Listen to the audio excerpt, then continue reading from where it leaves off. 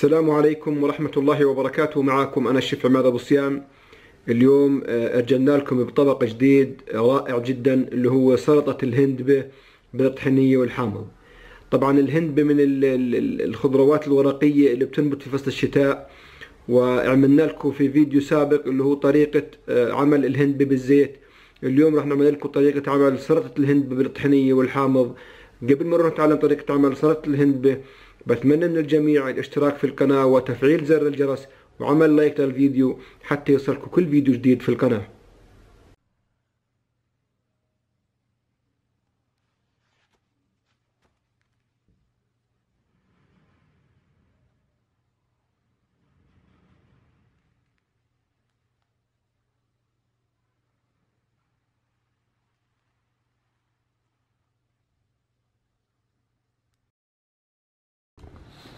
السلام عليكم ورحمة الله وبركاته.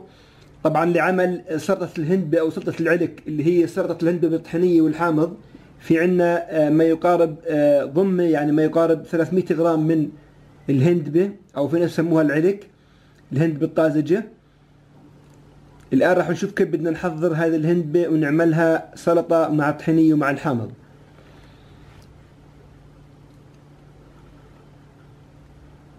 وفي عندنا هنا كاسة آه، كاسة من الطحينية اللي هي طحينية السمسم. في عندنا نص كاسة لبن رايب وبسموه لبن زبادي نص كاسة. في عندنا عصير حبتين ليمون.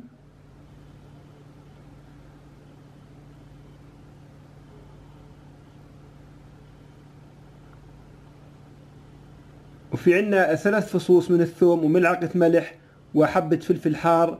طبعا الفلفل حار حسب الرغبة.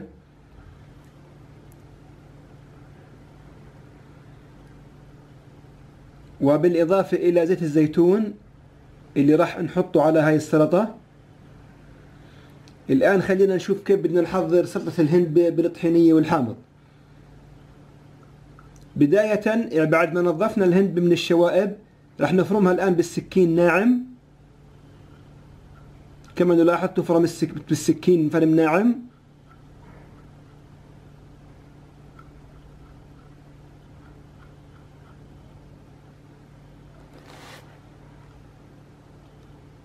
الآن بعد ما فرمناها وجهزناها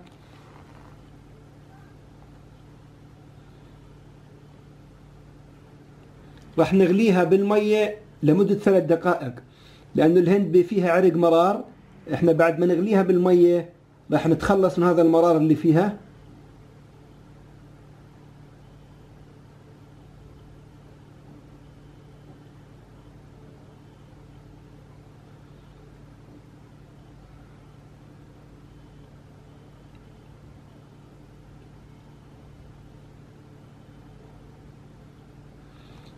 الآن بعد الغليان بالمي لمدة ثلاث دقائق آه، راح نصفيها الآن بالمصفاية ونبردها.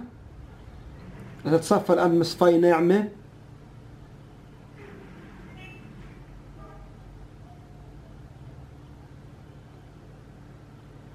وراح نبردها الآن بمي باردة.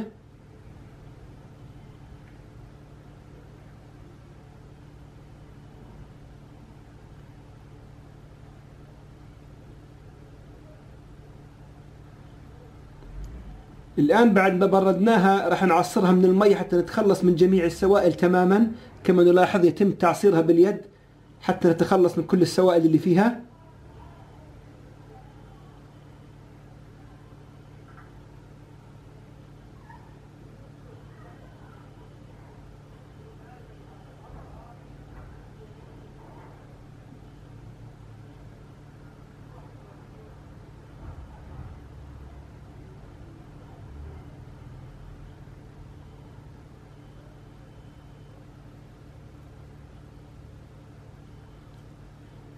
الآن بعد ما عصرناها وجهزناها راح نحضر اللي هي الثوم والفلفل الحار. راح ندقه بال راح ندقه مع ال- الملح حتى يعني يعني يصير هريس أو يصير بست معجون.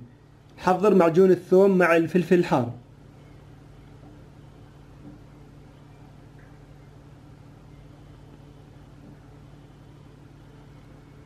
لأنه فعل وجود الملح مع الثوم بيعمل عملية إنه بسهل عملية هرس الثوم مع الفلفل بتصير مثل المعجون. الآن بعد ما هرسنا ثلاث حبات ثوم وقرن فلفل حار الآن نقوم بوضع الطحينية في طبق التحضير كاس طحينية ونص كاسة لبن رايب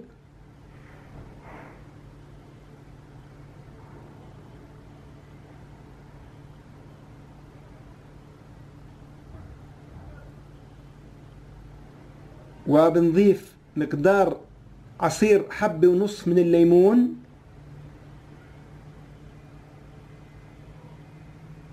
والآن بنضيف اللي هي الثوم والفلفل الحار المهروس اللي هرسناهم بالملح.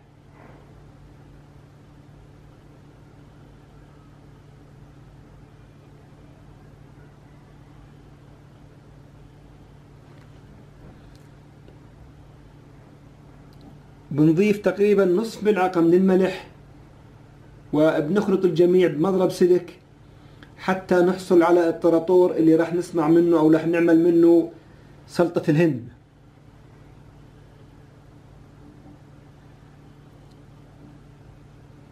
الآن خليط الطحينية مع اللبن والثوم أصبح جاهز.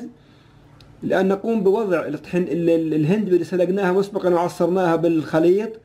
وبنقوم بنخلط جميع المكونات مع بعض.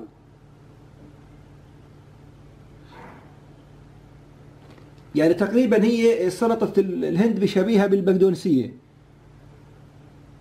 نستمر بالخلط حتى تجانس المزيج. الآن راح نسكبها في طبق التقديم.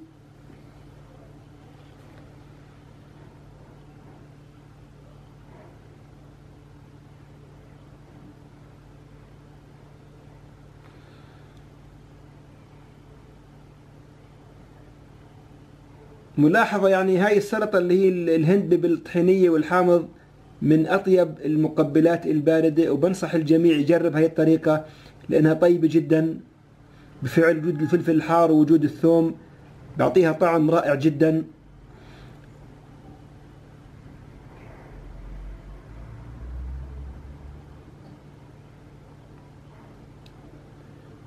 الآن كما نلاحظ عملية سكبها في الصحن ولفها بالصحن بطريقة معينة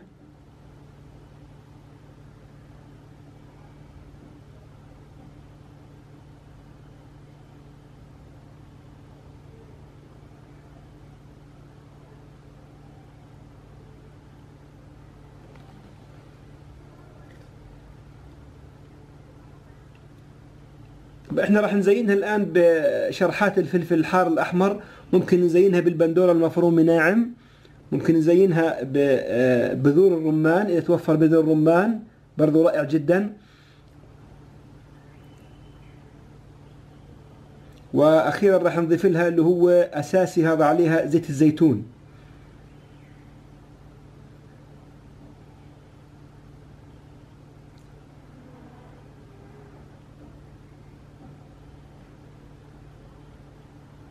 وهيك بكون يعني طبقنا اللي هو آه، سلطة الهند بالطحينية والحامض أو سلطة العلك بسموه ناس علك.